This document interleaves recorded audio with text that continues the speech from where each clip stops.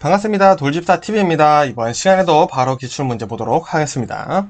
자, 1번. 운전자 요인에 의한 교통사고 중 어느 과정의 결함에 의한 사고가 절반 이상으로 가장 많은가? 자, 이거는 간단히 외워주시면 되겠습니다. 자, 1번. 인지 과정의 결함이라는 거다. 자, 무슨 말이냐? 내가 생각을 잘못한 거죠. 잘못된 판단, 뭐 잘못된 조작 이런 것들이 아니라 그냥 단순히 어, 생각, 인식을 잘못했다라는 개념으로 보시면 될 것 같습니다. 인식에 대한 문제 때문에 사고가 일어난 것이 가장 많다 보시면 되겠고요. 자, 다음 문제. 다음 중 란돌트 고리시표의 색상으로 맞는 것은 요거는 외울 수는 밖에 없겠죠. 정답 3번. 흰 바탕의 검정색이다. 흰 바탕의 검정색은 란돌트 고리시표다. 자, 요 문제밖에 없으니까 색깔은 외워주시면 되겠고요. 자, 다음 문제. 전방에 있는 대상물까지의 거리를 목측, 눈으로 보는 거죠. 목측하는 것과 그 기능을 무엇이라고 하는가?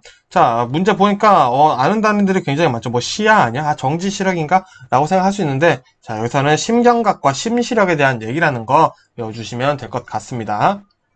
자, 다음 문제.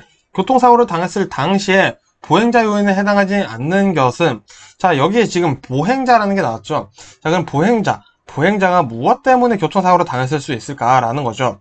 자, 그래서 1번 보시면 인지 결함. 자, 인식을 잘못했죠. 자동차가 나한테 오고 있는지 아닌지 생각을 못했을 수 있고요. 판단차고 내가 피하거나 아니면은 가만히 서 있어야 되는데 그런 판단. 그리고 동작. 그 판단한 것을 옮겼는지 안 옮겼는지 얘기가 되겠죠. 자, 그리고 시력차고. 자, 내 눈이 안 보여져서 사고 났다라는 것도 말이 되지만 자, 우리 교통사고의 요인에 해당하지는 않는다라는 거 시력차고는 예시당초 존재하지 않는 용어라는 거 알아두시면 되겠습니다. 자, 다음 문제. 보행 중 교통사고가 사망자가 가장 많은 나라는 자 보행 중 교통사고 사망자가 가장 많은 나라는 자 이런 문제 나오면은 꼭 우리나라가 정답이더라고요. 그래서 정답은 안타깝게도 애석하게도 우리나라가 보행 중 교통사고가 사망자가 가장 많다 알아두시면 되겠습니다. 여러분들도 조심하시고요.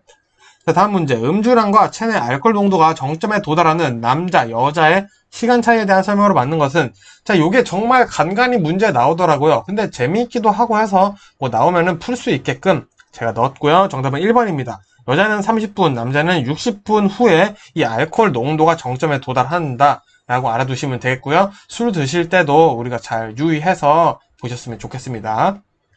자 다음 문제. 변속기의 구비 조건이 아닌 것은 자, 우리 변속기라고 하면은 보통 자동 변속기다 라고 얘기를 나오죠. 수동 변속기는 별로 없습니다. 자, 그러면 우리가 자동 변속기를 떠올렸을 때 자, 뭔가 자동으로 되려면은 구조가 어떻게 해야 되겠다? 굉장히 뭔가 복잡할 수 있겠죠? 자, 보시겠습니다. 1번. 가볍고 단단하고 다루기 쉬워야 한다. 자, 예를 들어 변속기가 굉장히 다루기가 어렵다면은 그거는 굉장히 사용하기 쉽지 않겠죠? 자, 이런 구비 조건이 맞고요.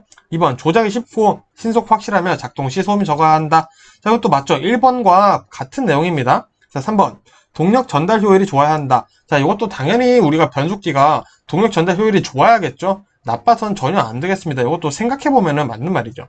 자, 4번. 연속적으로 또는 수동적으로 변속되어야 된다. 자, 요거는 우리 뭐 옛날 얘기는 맞을 수도 있으나 요즘의 변속기는 다 자동 변속기라는 겁니다. 요것만 알고 있어도 정답이 4번이라는 거풀수 있죠. 수동적으로 변속할 거면은 요즘 변속기 안 한다라는 거죠. 자, 그래서 정답은 4번 되겠습니다. 자, 다음 문제. 튜브리스 타이어의 특징이 아닌 것은 자, 단순하게 생각해 보면은 이 타이어 안에 튜브라는 게 있는데 그 튜브가 없다라는 거죠. 그래서 한번 보겠습니다. 1번. 튜브 타이어에 비해 공기압을 유지하는 성능이 좋다. 자, 요것은 오히려 좋다라는 겁니다. 튜브가 없어서 공기압 유지는 더 좋다 외워두시면 되고요. 2번 튜브 몰림 등 튜브로 인한 고장이 없다. 맞겠죠? 튜브가 없으니까 튜브 때문에 고장나는 게 없겠죠. 자 3번 림 자동차의 휠이죠. 휠이라고 볼 수 있습니다. 휠 부분에 림이 변형되면 타이어와의 밀착이 불량하여 공기가 셀 수 있다 라고 되어 있는데 자, 이 튜브 자체가 없기 때문에 공기가 어, 림과 밀착이 불량하는 경우가 뭐 거의 발생하지 않거나 공기가 셀 수 없다라는 거죠. 자, 4번 보겠습니다. 유리 조각 등에 의해 손상돼도 쉽게 수리할 수 있다. 자, 요게 정답이 되겠네요. 자, 튜브리스 타이어가 많은 장점을 가지고 있으나 자, 대표적으로 시험에 많이 되는 출제되는 단점이 요겁니다. 유리 조각이나 못 이런 것들의 파손, 손상되면 쉽게 수리할 수가 없다라는 단점을 가지고 있기 때문에 요거 같이 외워두시면 되겠습니다. 자, 요 문제는 장점, 단점 다 외워주세요. 자, 다음 문제.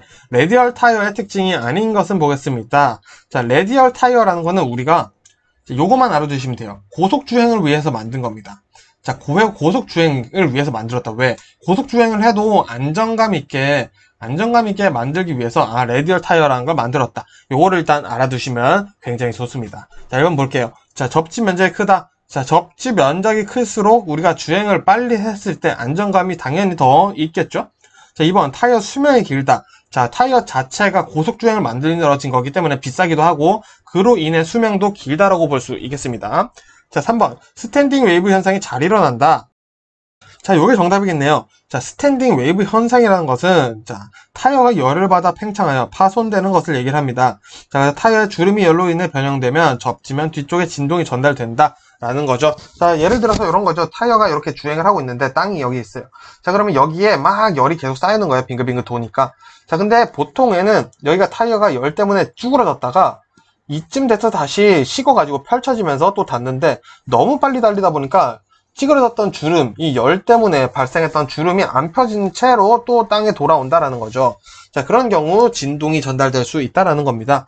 자, 이 standing wave는 보통 150km/h 전후의 속도에서 발생한다는 것까지 같이 외워주시면 되겠죠.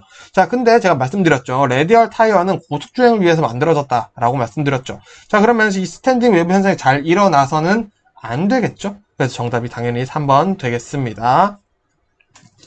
4번도 볼까요? 저속으로 주행할 때 조향 핸들이 무거울 수 있다. 왜? 접지 면적이 크다라고 했으니까 어 핸들이 조금 무거울 수 있겠죠. 자 다음 문제 운전자가 자동차를 정지하여야 할 상황임을 지각하고 브레이크 페달로 발을 옮겨 브레이크를 작동을 시작하는 순간까지의 시간과 그때 자동차가 진행한 거리에 대한 각각의 명칭은 뭐였습니다. 자 요거 개념 확실히 잡아볼게요. 자, 이렇게 두 단계, 세 단계로 나눌 수 있습니다. 자, 먼저 앞에 장애물이 있다라는 거 있어요. 내가 가고 있는데. 장애물입니다. 그림 못 그립니다. 자, 어, 장애물이 있네? 라고 인지를 했어요. 이때부터 시작입니다. 어, 인지를 했어. 브레이크를 밟아야겠어. 라고 해서 브레이크를 밟았어요. 작동을 했습니다. 자, 요까지가 공주입니다. 자, 그럼 브레이크가 작동을 했어요. 작동을 해서 완전 정지. 완전 정지란 차가 아예 멈춰 있다는 뜻이죠. 자, 요 사이를 제동이라고 합니다. 자, 요 때까지 걸린 시간을 공주 시간이고요. 요 때까지 차가 진행한 거리를 공주 거리라고 하고요. 작동, 브레이크 작동부터 완전 정지까지를 제동이라고 한다고 그랬죠? 요 때까지 걸린 시간을 제동 시간, 그리고 주행한 거리를 제동 거리라고 보는 겁니다. 자, 거리, 거리인데 절이라고 썼네요. 자, 그럼 지금 지각하고 나서 브레이크 작동까지니까 지금 공주에 대한 얘기인 거죠. 그래서 정답은 2번 되겠고요. 요 공주 플러스 제동 하게 되면은 정지다. 그래서 알아두시면 되겠습니다. 정지 시간과 정지 거리는 즉 공주 시간 플러스 제동 시간 더하면 정지 시간이 되겠고요. 제동 거리 플러스 공주 거리 하면 정지 거리가 되겠다라고 인식을 잘 잡아두시면 되겠습니다. 자, 다음 문제. 자동차의 배출가스 색으로 구분할 수 있는 엔진의 건강에 대한 설명이 틀린 것은 자, 요거 우리 색깔 4개밖에 안 나오거든요. 근데 요 문제가 상당히 자주 나옵니다. 1번부터 볼게요. 완전 연소 때 배출되는 가스의 색은 정상 상태에서 무색 또는 약간 옅은 청색을 띈다. 자, 요거 맞습니다. 즉 뭐냐? 요것만 외우시면 되죠. 무색, 청색은 정상. 자, 요거 외우시면 되겠고요. 2번 검은색은 농후한 혼합가스가 들어가 불안전 연소되는 경우이다. 자, 그것도 맞는 말이에요. 자, 그럼 뭐 외우냐? 검은색은 불안전 연소 외워주시면 되겠고요. 3번. 청색은 엔진 속에서 극소량의 엔진 오일이 실린더 위로 올라와 완전 연소된 경우이다. 자, 청색 정상이라고 했죠? 정답 3번이 틀렸네요. 자, 그럼 요 상은 뭐냐? 흰색입니다. 자, 흰색 또는 백색이에요. 자, 근데 심지어는 이것도 아니에요. 완전 연소가 아니라 불완전 연소가 된 거예요. 4번 볼까요? 백색은 엔진 안에서 다량의 엔진 오일이 실린더 위로 올라와 연소되는 경우이다. 자, 요게 백색에 대한 설명입니다. 즉, 검은색, 백색은 비정상, 정상은 청색, 무색이 정상이다. 이렇게 외워두시면 되겠습니다. 정답은 3번 되겠죠. 자, 다음 문제 보겠습니다. 방호 울타리에 대한 설명으로 틀린 것은 1번부터 볼게요. 1번. 횡단을 방지할 수 있어야 된다. 자, 보행자가 무단횡단하는 것을 방지하는 역할이 있어야 된다는 거죠. 2번. 차량을 감속시킬 수 있어야 한다. 자, 이것도 마찬가지 맞는 말입니다. 차량이 방어 울타리에 부딪히면서 속도를 줄여서 대형 사고로 이루어질 걸, 사망 사고로 이루어질 걸 그래도 중상, 경상으로 줄여준다라는 내용이 담겨져 있는 거고요. 3번, 차량이 대항 차로로 튕겨져 나가지 않아야 한다. 자, 맞는 말이죠. 그러니까 어, 역주행 쪽으로 튕겨져 나가지 않게 방어 울타리가 말 그대로 방어를 해준다 라는 내용인 거고요. 자, 4번 교통사고를 방지할 수 있어야 한다. 어? 이것도 맞는 말 같네요. 근데 정답은 4번입니다. 자, 방어 울타리는 느낌을 보시면 아시겠지만 2번, 3번 같은 경우를 보시면은 더 큰 사고를 예, 막아주는 거예요. 더 큰 사고를 막아주는 거죠. 즉, 사고를 방지하는 게 아니라 사고의 형태, 사고의 형태, 즉, 유형을 변경시켜준다. 자, 대형 사고 날 것을 소형 사고로 나게 해주는 것이 방어 울타리의 목적이지 사고를 아예 안 나게 해주는 것이 전혀 아니다. 라는 것을 꼭 알아두셔야 되겠습니다. 자, 다음 문제. 여름철 타이어 마모 상태를 점검할 때 타이어 트레드 홈의 깊이가 최저 몇 미리미리 이상이 되어야 하는지 얼마나 되는지 확인해야 하는가? 아, 외워주시면 되겠죠? 정답은 1.6mm입니다. 왠지 모르겠는데 1.6mm라고 하네요. 자, 다음 문제 보겠습니다. 차량을 적재하여 운반하는 충전 용기는 항상 몇 도를 이하, 몇 도 이하를 유지하여야 하는가? 이것도 외워주셔야겠네요. 정답은 2번 40도 이하를 유지해줘야 된다. 충전 용기는 40도 이하 외워주시면 되겠고요. 자, 마지막 문제 보겠습니다. 자동차를 운전하고 터널을 통과 중인데 화재가 발생했네요. 화재가 발생했을 때 운전자의 행동으로 가장 옳은 것은 보겠습니다. 자, 1번. 화재로 인해 터널 안이 연기로 가득 참으로 차 안에 대기한다. 자, 전혀 아니죠. 도망가셔야 되죠. 자, 2번. 도난 방지를 위해 자동차 문을 잠그고 터널 밖으로 대피한다. 자, 뭐 요것도 꽤나 합리적인 선택이라고 볼 수 있는데 엄연히 요거는 정답이 될 수가 없습니다. 자, 왜? 자동차 문을 잠그면 안 된다라고 되어 있어요. 왜 소방대원이나 이제 구조요원분들이 차량을 이동시켜야 되는 경우가 있을 수 있기 때문에 어, 차량을 문을 잠그지 않아야 된다라고 써 있더라고요. 자, 3번 보겠습니다. 유턴해서 출구 반대 방향으로 되돌아간다. 자, 내가 유턴하는 순간 안에 있는 모든 차량이 유턴하려고 하겠죠? 그러면은 말 그대로 아비규환이 됩니다. 그래서 내려서 차문 열고 내려서 뛰어서 터널 밖으로 도망간다. 라는 게 어, 가장 뭐 핵심적인 뭐 FM이라고 합니다. 자, 4번 보겠습니다. 차량 엔진 시동을 끄고 차량 이동을 위해 열쇠는 꽂아둔 채 신속하게 내려 대피한다. 자, 이게 맞는 말이죠.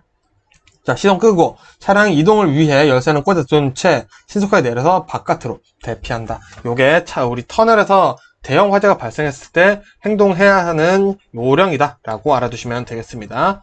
자, 이렇게 해서 이번 영상 여기서 마무리하고요. 저는 다음 영상으로 인사드리겠습니다. 고생 많으셨습니다.